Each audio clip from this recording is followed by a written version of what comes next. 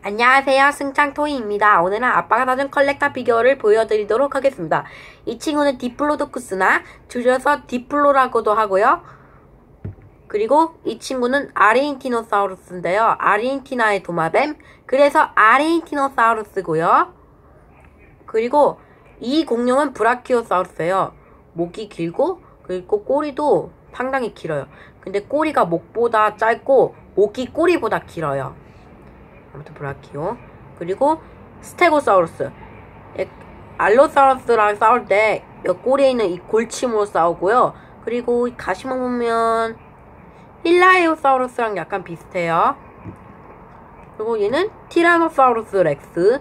꼬리가 되게 두껍고요. 생김새가 무섭죠? 그리고 타르보사우루스랑 비슷해요. 왜냐하면 생김새가 타르보를 닮아서 이렇게 되어 있고요. 그리고 모사사우루스. 이 친구는 트리케라톱스예요. 주로 뿔로 공격을 해요. 그리고 이 친구는 벨로키랍토르인데요. 얘가 친타오사우루스랑 싸울 때 이 발톱으로 싸거든요. 이 발톱으로 엄청나게 핥히는 것을 무섭게 핥히면서 공격을 하고요. 얘도 이뻐요, 되게. 이빨이 조금 무서워요. 마지막 프테라노돈입니다.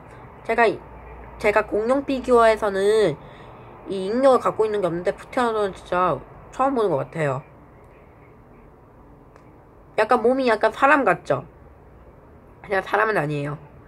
일단은 날개가 좀 말랑말랑해서 이렇게 움직여요. 그리고 공룡이 나오는 애니메이션에서 티라노사우루스랑 트리케라톱스랑 싸우는 게 진짜 재밌고 멋있더라고요.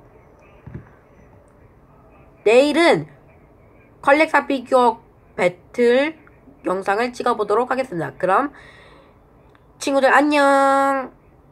좋아요 꾹꾹!